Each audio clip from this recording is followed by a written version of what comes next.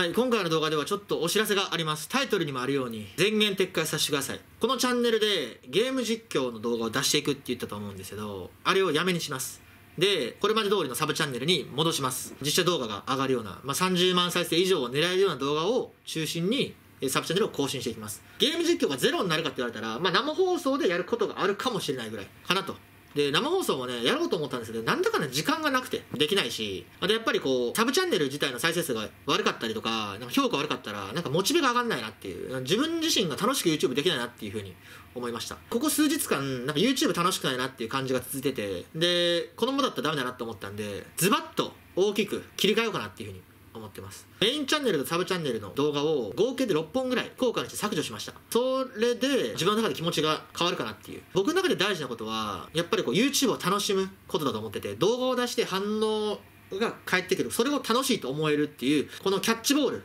がすごい大事だと思っててここ数日間それが全くなかったんで動画出しても不満が来るから楽しくないなみたいな。不満を持たせた自分が悪いんですけどでもこの動画があっても俺の人生プラスにならないなっていう風に判断したんでズバッと非公開に削除しました。ちょっとね僕の勝手な判断で全言撤回したりとかコロコロコロコロ言うこと変わったりするのは本当に申し訳ないですそしてまあ今回の動画でもね動画消えちゃったんで悲しむ人もいると思うんでそれに関して本当にすいません申し訳ないですただ僕自身のメンタルが非常に僕は大事だと思っててこれが沈めば、うん、いい動画も撮れないし上がればいい動画撮れるしっていうことだと思うんでやっぱりこう自分の中でね切り替えるポイントが必要だったと思ってて今回がそれなんじゃないかなっていうふうに思います。まあ、僕本当にね危機察知能力が高いんでダメだなと思ったらそれをほとんどの人はずるずる続けちゃうと思うんですけど、まあ、僕はダメだと思った瞬間にもうバッサリ切れるんでもちろんここでこうバッサリ切ることで僕は一時的に損すると思うんですよ。損するしマイナスな印象を与えると思います。多くの人に。でも多分最小限の被害で済むと思ってるんですよね。今だったら。でこれを放置しているとどんどんどんどん悪いのが広がっていって取り返しのつかない事態になるなっていうふうに判断したんで今ここぐらいの悪い部分でここで切り落とすと。損切りしようかなっていうふうに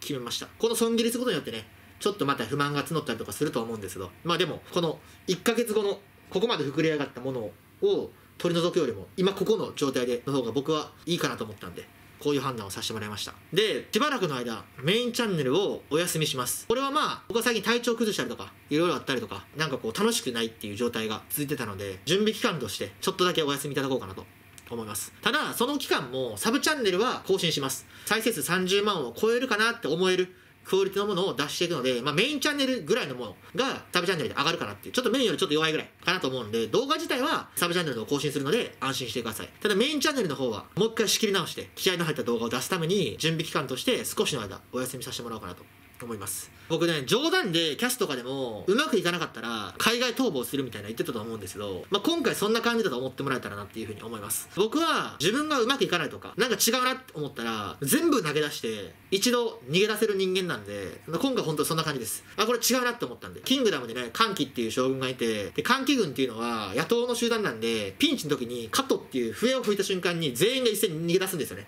そういう作戦があるんですよ。で、全員が一斉に逃げ出したら、まあその無様なんですよ、姿としては。敵からしたら、一目散に背中向けて逃げてるんで、無様なんですけど、最も生存率が高い逃げ方なんですよね、それが。そんな感じで、今回は本当に僕は加藤を鳴らしたみたいな感じだと思っててください。あ、このままじゃダメだっていう気持ちも沈んでいくし、それがおそらくこう、視聴者も伝染するし、視聴者の不安もどんどん増えていくし、このままじゃダメだって思ったんで、一気に切り替えます。その切り替える時間を少しください。その期間だけメインチャンネルをお休みします。まあ、ただサブチャンネル上がるので、そこは安心してもらえたらなっていう感じですね。あとまあキャスも通常通り、まあ時間が空いてる時はやります。はい、そんな感じでね、まあ僕よく言ってること変わるんですけど、コロコロコロコロ。またそういう病気が発動したなと思ってください。前言撤回ね。ちょっとまあ本当はしたくないんですよ、こういうことね。したくないんですけど、やっぱり自分が間違ってたとか、違うなって思ったら、そこの感覚っていうのは、維持とかプライドとかで貫いて後悔したくないんで視聴者の人が合ってたなって思います。だから僕が間違ってて視聴者の人が正しかったっていう風な結果だったんでここに対してねその維持張って自分の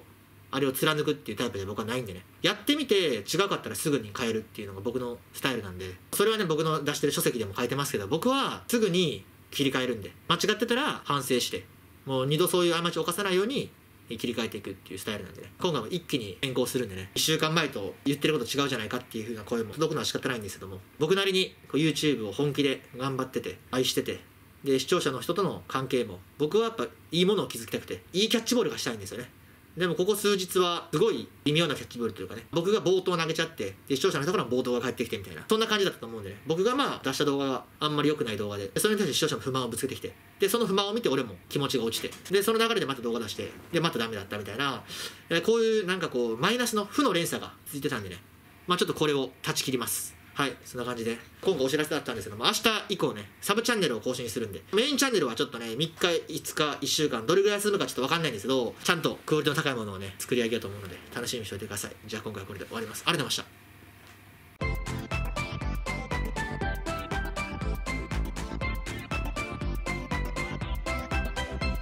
た。そして最後に、えー改めましてね僕のミスでした。まあこれからもおそらくミスを犯します。